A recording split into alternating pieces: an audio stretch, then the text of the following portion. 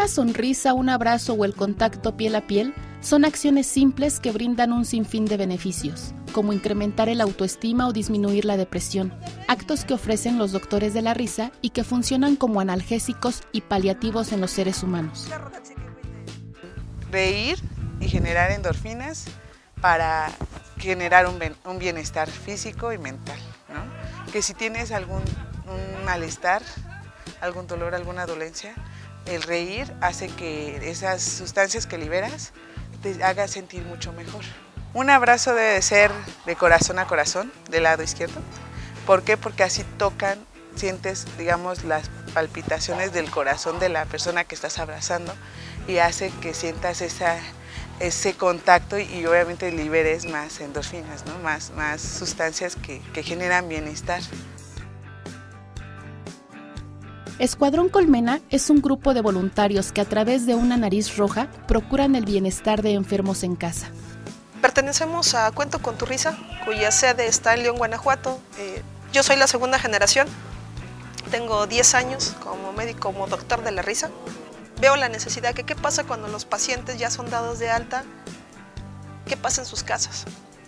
Porque ya no hay médicos, ya no hay enfermeras, ya no hay quien esté al tanto de ellos y había pacientes que trascendían en estados de mucha tensión y la familia quedaba también muy vulnerable. Con ejercicios básicos, chistes sencillos, canciones y la mejor actitud, se crea una terapia de risa.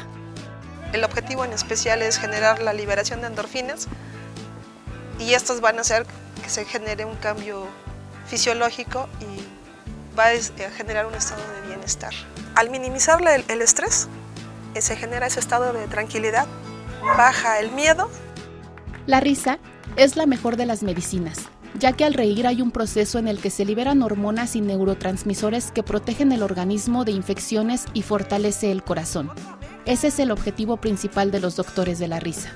Nos presentamos cada uno como nuestro nombre de doctor de la risa y empezamos a desarrollar dinámicas que tengan que ver y que impliquen eh, movimientos, que impliquen mucho motricidad si vemos que el paciente no se está moviendo. Ah, pues vamos a cantarle una canción y que empiece a mover dedos. Ah, requiere un masajito y entonces le damos un masajito. No porque la familia no se lo dé, sino porque el, el hecho de vernos es como cambiar, cambia todo el ambiente este, y toda la dinámica cuando está presente un doctor de la risa.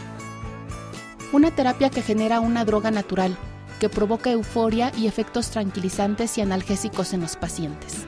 Una alternativa pues apropiada para mi papá, está muy platicador, está pues bastante optimista, ya la, sus respuestas son más este, coherentes, entonces sí, sí vemos beneficios le dio mucha alegría. Bueno, o sea, luego, luego se lo reflejó en la cara cuando vio que entraron los muchachos y ya sabía de qué se trataba.